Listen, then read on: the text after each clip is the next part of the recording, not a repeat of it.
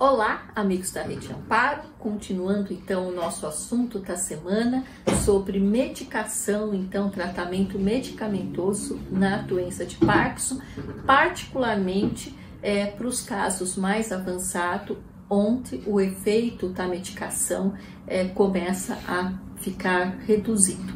Muito bem, hoje então nós vamos responder uma pergunta que é, é muito comum em pessoas com Parkinson, se eu posso mudar o horário da medicação. Então, o nosso amigo da Rede Amparo fala que o, a medicação de um determinado horário já não está mais fazendo efeito e ele pergunta se ele pode, por conta própria, modificar o horário dessa medicação.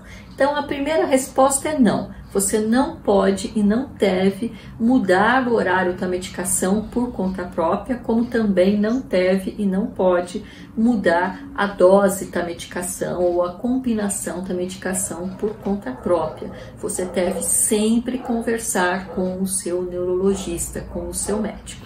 E uh, esse problema, essa, essa, essa falta que a gente chama de aderência, essa dificuldade de seguir exatamente a, a prescrição é, do, do, médico sobre a medicação, ela não é só dessa pessoa que mandou essa pergunta, mas ela é muito comum nas pessoas com Parkinson. Então, para responder a pergunta de hoje, eu estou usando um artigo que foi publicado esse ano e vejam só, na Alemanha, aonde as pessoas são muito disciplinadas, certo? Bom, então esse estudo da Alemanha, ele mostra, ele é interessante porque ele não só mostra a, a, dificuldade, né, o percentual de pessoas que não têm uma boa aderência à medicação, ou seja, não seguem exatamente o que foi prescrito, como também o porquê que essas pessoas não fazem isso. Bom, então, a, o primeiro dado importante desse estudo é que vejam só, apenas 14% das pessoas, de cada 100 pessoas, apenas 14 pessoas seguiam a prescrição da medicação exatamente como o médico tinha definido, tá certo? O restante, eu tenho 64% das pessoas que seguiam mais ou menos, certo? Ou seja, é, é, tinham, tinham algumas falhas e o restante tinha uma aderência muito baixa a essa a, as modificações ao que foi prescrito é, pelo neurologista, tá certo? Bom, qual é o interessante disso? Que dentre essas pessoas que não tinham uma boa aderência à medicação, a maior parte delas isso era voluntário, ou seja, não é que esquecia a medicação, ah, não é que se confundia, não, elas deliberadamente modificavam essa a sua própria medicação. E elas estavam, né, a justificativa para fazerem isso era a, a medicação fazia a pessoa se sentir pior, então ela parava de tomar, ou ela mudava a dosagem ou mudava o horário. Ou o contrário, a pessoa tinha melhorado e achava que não precisava mais tomar essa medicação.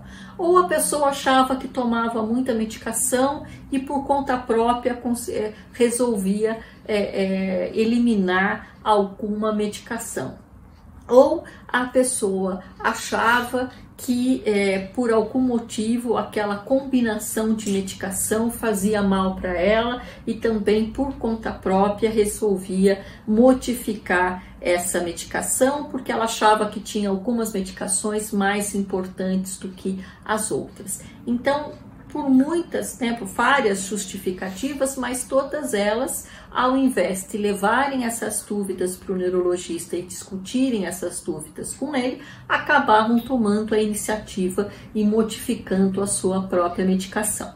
E uma coisa que nos deixa bastante preocupados é que nesse estudo ah, o principal fator que estava associado à baixa adesão à medicação, à baixa aderência ao tratamento eh, prescrito, era a escolaridade. Veja que na Alemanha a escolaridade ela é muito melhor do que no Brasil. Aqui no Brasil nós temos muito mais gente com baixa escolaridade e quando a gente faixa, fala de baixa escolaridade, ela é muito mais baixa que na Alemanha. Mas ah, quanto menor a escolaridade dessas pessoas, pior era a adesão à medicação, exatamente porque elas conheciam menos sobre a medicação, elas entendiam menos sobre a função dessa medicação, sobre a importância de se manter os horários, sobre é, quais eram os mecanismos é, que estavam por trás dessas medicações. Então, o primeiro passo para que você tenha uma boa aderência ao tratamento medicamentoso é que você conheça então é, por que cada uma daquelas medicações foi prescrita para você, quais são os mecanismos de ação, é, por que, que elas são importantes para o seu tratamento e tudo isso você vai conseguir. Então, a Rede Amparo está aqui para apoiar você em todas essas dúvidas, mas é muito importante que você também converse com o seu neurologista, tire todas essas dúvidas e, em caso uh, que você tenha, por exemplo,